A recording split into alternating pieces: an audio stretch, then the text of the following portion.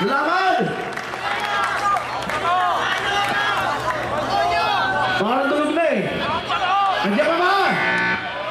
Andiyan pa ba? Alright.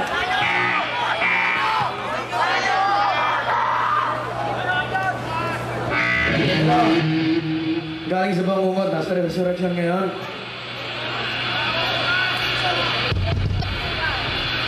Tawag namin dito, salot.